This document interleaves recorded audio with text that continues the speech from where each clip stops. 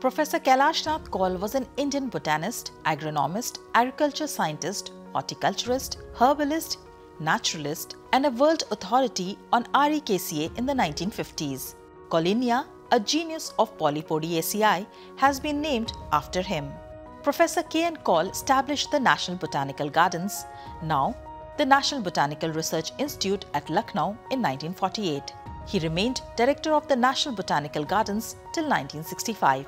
In this period, the National Botanical Gardens, Lucknow, became one of the world's five best botanical gardens, along with botanical gardens at Kew, Java, Paris, and New York. Professor Kaul was responsible for reclamation several thousand acres of alkaline land in Uttar Pradesh by cultivating alkali-tolerant herbaceous, shrub, and tree species.